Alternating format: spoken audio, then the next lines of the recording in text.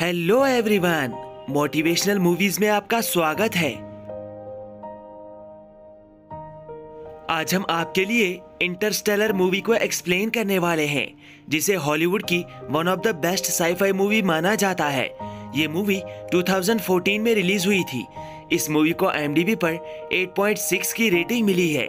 इस मूवी को हॉलीवुड के one of the best directors Christopher Nolan ने डायरेक्ट किया है। ये मूवी काफ़ी ज़बरदस्त है। इस मूवी की स्टोरी जानने के बाद आपका दिमाग पूरी तरह से हैरान रह जाएगा। अपने टाइम पर इस मूवी ने ताबड़तोड़ कमाई की थी और इसके लिए अवार्ड्स की एक बहुत लंबी लाइन लगी थी। मूवी की शुरुआत में हमें कहानी के मुख्य किरदार कूपर को दिखाया जाता है। कूपर नासा में एक साइंटिस्ट रह चुका है, लेकिन अब वो घर पर मक्के की खेती करता है, क्योंकि इस टाइम धरती पर खाने की बहुत कमी होती है, इसीलिए सभी लोग खेती करते हैं। कूपर की फैमिली में उसका बेटा टॉम और उसकी बेटी मर्फ रहते हैं, और साथ ही कूपर का ससुर भी उनके साथ ही रहता है। मर्फ हमेशा कूपर को बताती है कि उसके कमरे में एक भूत रहता है, लेकिन कूपर को उसकी बातों पर यकीन नहीं होता। मर्फ कूपर को बताती है कि उसके कमरे में जो किताबों की अलमारी है, उसमें हमेशा किताबें अपने आप ही नीचे गिर जाती हैं। इसीलिए मुझे लगता है कि यहाँ पर भूत है। तभी कूपर उससे कहता है कि तुम्हारे कमरे में जो कुछ भी हो रहा है, तुम्हें उस पर बहुत करीब से नज़र रखनी चाहिए।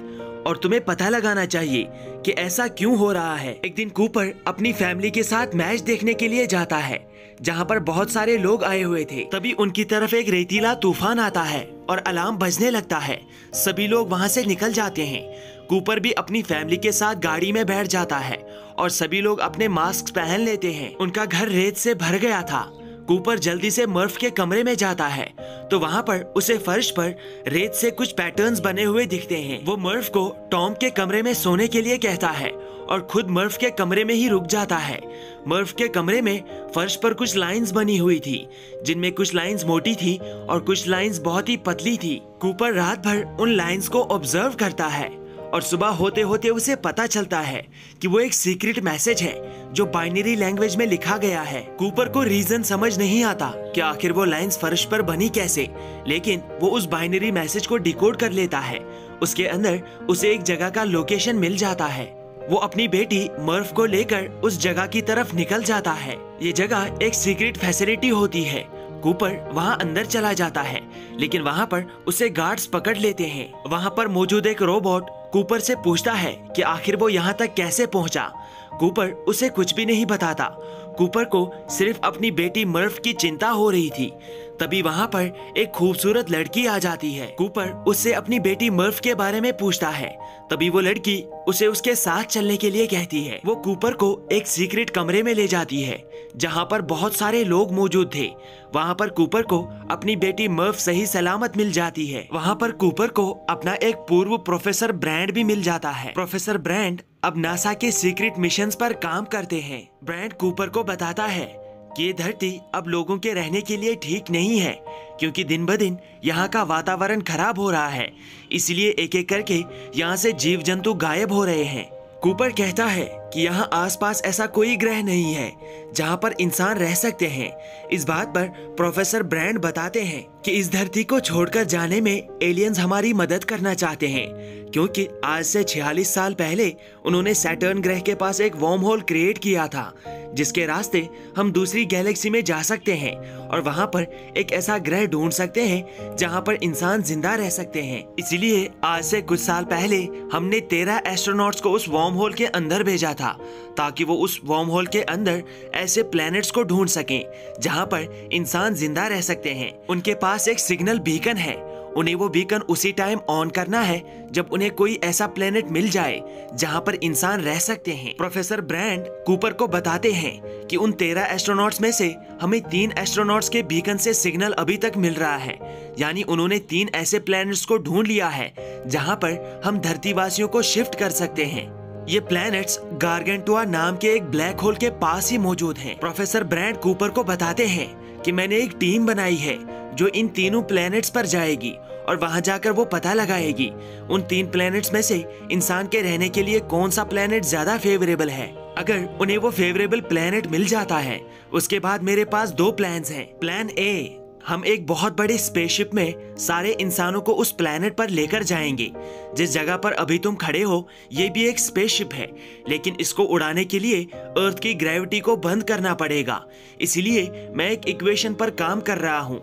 उस इक्वेशन की मदद से मैं अर्थ की ग्रेविटी को कुछ देर के लिए बंद कर सकता हूँ। ताकि अर्थ की ग्रेविटी बंद होने से ये स्पेसशिप अपने आप ही हवा में तैरने लगे और हम उस प्लेनेट तक पहुँच सकें। हो सकता है कि अगर मैं अर्थ की ग्रेविटी को कुछ देर तक बंद करने के लिए नाकाम हुआ, उसके बाद भी मेरे पास प्लान भी है। ये टीम जो इन प्लैनेट्स को ढूँढने के लिए जा रही है, वो अपने साथ पाँच हज़ार इंसानी भ्रूण ले जाएँगे। जब तक वो उन प्लैनेट्स का मुआयना करेंगे, तब तक मैं यहाँ इक्वेशन सॉल्व कर लूँगा। अगर मैं इक्वेशन सॉल्व करने में कामयाब नहीं हुआ तो वो टीम उन 5000 इंसानी भ्रूणों की मदद से उन प्लैनेट्स पर इंसान की रेस को आगे बढ़ाएँगे। यानी इस धरती पर से इंसान का जीवन खत्म हो जाएगा और उस ग्रह पर स्टार्ट हो जाएगा। प्रोफेसर ब्रैंड कूपर से कहते हैं कि तुम नासा में एक पायलट रह चुके हो। इस मिशन के लिए मुझे तुम्हारी ज़रूरत है। हमें इंसानी रेस को किसी भी हाल में बचाना होगा। ये बात सुनकर कूपर इस मिशन के लिए तैयार हो जाता है। वो मर्फ को इस मिशन के बारे में बताता है कि मैं इस मिशन पर जाने वाला हूँ और मुझे पता नहीं है कि मुझे कितना टाइम लगेगा। मर्फ नहीं चाहती कि कूपर इस मिशन पर जाए, इसीलिए वो कूपर से नाराज़ हो जाती है। कूपर उसे मनाने की कोशिश करता है। कूपर मर्फ को एक घड़ी भी देता है। उस घड़ी का दूसरा जोड़ा कूपर ने खुद पहना हुआ था। ये घड़ियाँ एक दूसरे से कनेक्टेड थी, लेकिन इसके बाद भी कूपर मर्फ को कन्विंस नहीं कर पाता।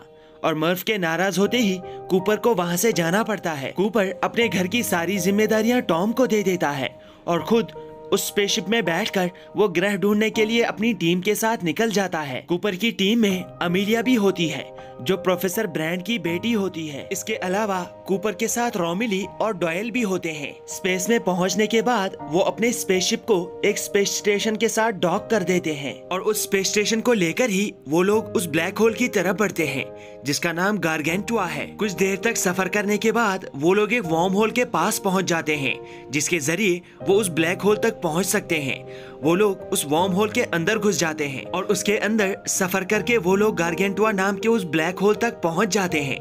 अब यहाँ पर मैं आपको एक कॉन्सेप्ट समझाना चाहूँगा कि जिस तरह अर्थ पर टाइम अपने हिसाब से चलता है, वैसे ही ब्लैक होल के पास जो प्लैनेट्स होते हैं, उन पर भी टाइम अलग अलग तरीके से चलता है। यानी जो प्लैनेट ब्लैक होल से जितना दूर होगा, उस पर टाइम उतना ही तेज गुजरेगा। ब्लैक होल के पास जो प्लैनेट है, अगर उस पर एक घंटा गुजरता है तो ब्लैक होल से दूर प्लैनेट पर उस टाइम में कई साल भी बीत सकते हैं। खैर coming back to the story अब ये सभी एस्ट्रोनॉट्स पहले प्लेनेट पर जाने के लिए तैयार हो जाते हैं, जिसका नाम इन्होंने रखा होता है मिलर्स प्लेनेट ये प्लेनेट पूरा पानी से भरा हुआ होता है, जिस वजह से ये इंसानों के रहने लायक नहीं होता है। इनसे पहले जो यहाँ पर एस्ट्रोनॉट आया था, यहाँ पर इन्हें सिर्फ़ उसके जहाज़ का मलबा मिलता है यानी वो एस्ट्रोनॉट यहाँ पर मारा गया था। इनका एक साथी, जिसका नाम रोमिली है, वो ऊपर स्पेस स्टेशन में ही रुक जाता है, ताकि जब तक ये लोग वापस जाएँ, तब तक वो ब्लैक होल को पूरी तरह से स्टडी कर सके। लेकिन अब इस प्लेनेट पर पानी की ऊँचे लहरें उठने लगती हैं, जो आसमान को छू रही थी। यानी ये लोग पानी में डूबने वाले थे। इसलिए कूपर उन्हें जल्दी से जहाज़ पर आने के लिए कहता है। इनके साथ जो रोबोट होता है, वो एमिली को उठाकर जहाज़ की तरफ़ भागता है। तब तक लहरें उनके पास पहुँच जाती है, जिस वजह से इनका दूसरा साथी डॉयल जहाज़ पर नहीं चढ़ पाता।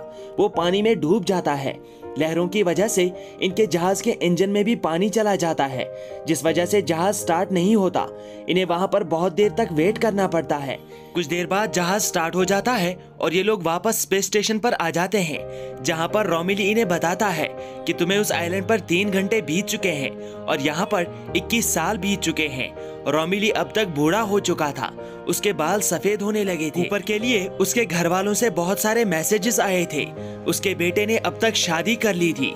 उसके बच्चे हो गए थे और उसके ससुर की डेथ भी हो गई थी। इतने सालों में उसकी बेटी मर्फ ने उसके लिए सिर्फ़ एक ही मैसेज छोड़ा था और वो भी उस दिन, जिस दिन वो अपने बाप की उम्र में पहुँची थी। इस मिशन पर जाने के लिए वो अभी भी अपने बाप से बहुत नाराज़ थी। मर्फ ने भी अब नासा को ज्वाइन कर लिया था और वो भी प्रोफेसर ब्रांड के साथ ही काम कर रही थी। प्रोफेसर ब्रांड अभी भी उस ग्रेविटी वाली इक्वेशन पर काम कर रहे थे। यहाँ रोमिली ने भी ग्रेविटी पर अपना रिसर्च कंप्लीट कर लिया था। मिलर्स प्लेनेट से वापस आने के बाद अब इन्हें और दो ग्रहों पर जाना था, लेकिन इनके पास इतना फ्यूल नहीं था। वो लोग केवल एक ही ग्रह पर जा सकते थे। इसलिए ये दो में से एक प्लेनेट पर जाने का फैसला करते हैं, जहाँ पर कुछ साल पहले डॉक्टर मैन आया था। ये प्लेनेट इन्हें मानव जीवन के लिए ज़्यादा फेवरेबल लग रहा था। इन लोगों को जरा भी अंदाज़ा नहीं था कि उस प्लेनेट पर इनके साथ क्या होने वाला है। अब इनके आगे के सफ़र में कई हादसे होने वाले हैं और आगे के सफ़र में ही अब सारे राज खुलने वाले हैं। इसलिए हमने उस पार्ट को अलग से एक्सप्लेन किया है। उस पार्ट को देखने के बाद ही आपको मूवी की सारी कहानी समझ आएगी और आपके सारे कंफ्यूजन दूर हो जाएँगे। उस पार्ट को देखने के लिए स्क्रीन पर दिख रहे वीडियो पर क्लिक कीजिए और उस पार्ट को एंजॉय कीजिए।